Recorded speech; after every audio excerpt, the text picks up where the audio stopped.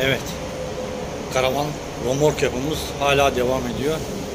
Yağmurlardan fırsat buldukça çünkü devamlı yağmur maşallah bu sene Haziran'ın sonuna kadar artık yağmur bitmedi. Bugün bayağı açtı hava artık. Şimdi romorkumuzun son hali, hali böyle. Yavaş yavaş kapattık her yerini. Yanlar yapıldı. Ben bir göstereyim şimdi yavaş yavaş. Şu tarafı çekeyim bir romorku. Gördüğünüz gibi yan panelleri böyle montajını yaptık. Şimdi şurada arkada bir ufak panelimiz kaldı.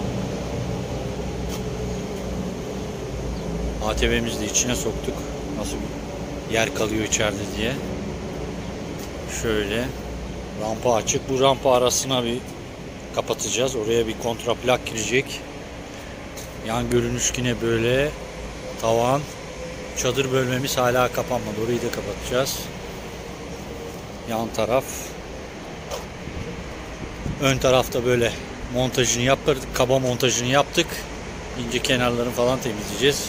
Burada dolap yeri gelecek. Dolabı var. Üst tarafta güneş panelleri, su deposunun yeri var. Şöyle devam edelim.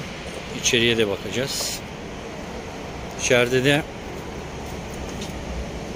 mini bir mutfak alanımız var. ATV'yi koyduktan ATV'yi çıkardık mı rahat, geniş bir alan.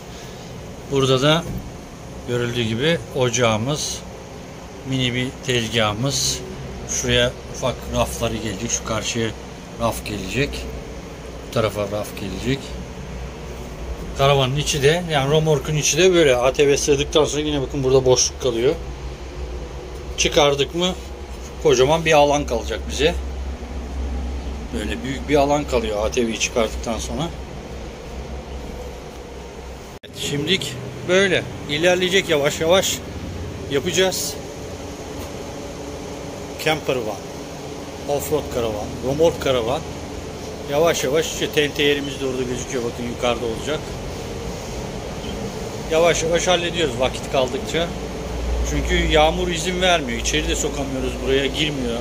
Burası alçak. Romork yüksek oldu. İçeri de giremiyor. O yüzden dışarıda hava güzel oldukça yapıyoruz.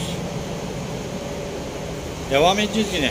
İleriki bölümlerde ilave ettikçe ben video çekeceğim yani. Ufak ufak atacağım. Bir görüşmek üzere.